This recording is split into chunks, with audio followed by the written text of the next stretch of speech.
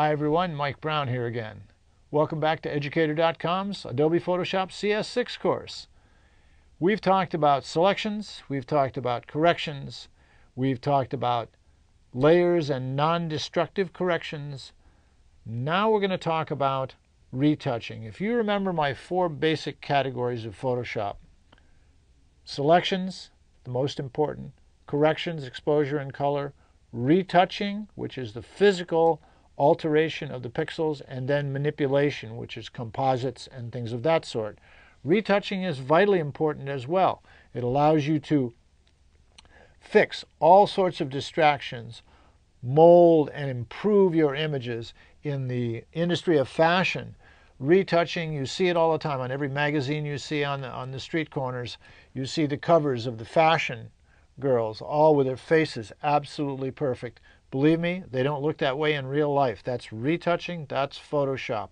They look skinny, the dresses look perfect, everything is absolutely perfect. Nobody's perfect. That was all manipulated with the retouching tools. So we're going to go into that pretty deeply here, but in this lesson we're just going to cover the basics. And what we're going to look at are the basic retouching tools and how to properly use them. And there are really four of them. The spot healing brush, the healing brush tool and the patch tool, all three of those are under the little band-aid and they work in a similar fashion. There's a fourth one called the Content Aware Move tool, uh, which is new in CS6. I went over this under the Content Aware lesson. There's also aware, Content Aware Scale and Content Aware Extend, which are both wonderful. The Content Aware Move has a tendency to disturb pixels. We'll go into that as this lesson goes on. And the final tool, which has been around since the beginning of Photoshop, the clone stamp tool they call it, but we all call it the rubber stamp because of the icon.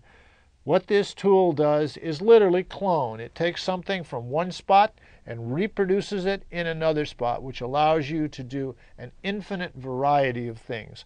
But it's how well you use that technique that makes it flawless.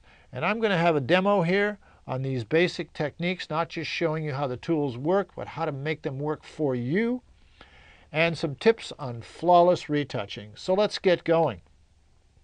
I'm going to take this image to start with. This is a shot I took of a friend of mine, and it's a nice shot. We got a little flyaway hair up there that could be taken care of in retouch.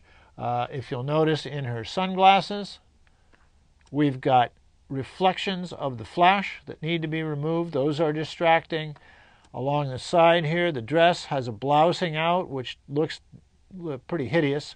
So what we're going to do is we're going to reconstruct that down into this area. And then we have some distractions from the background. These are things you really need to look at is your background. If you're sitting there when you shoot this shot and you shoot it and it's wonderful. But then look closely. She has a branch that grows right into the dress, blends with it, almost looks like the dress and the branch are one. Very distracting element right there. This large branch growing out of the side of the arm. Over at the side of the image here, we got some lens flare. You see that haziness? And then down here, we have another branch growing into the side and just one little distracting piece up here at the top. These are the things that catch the eye. You're looking here and all of a sudden you see this little brightness. So I'll show you how to fix those and they can all be done with any of these three tools and or the rubber stamp tool.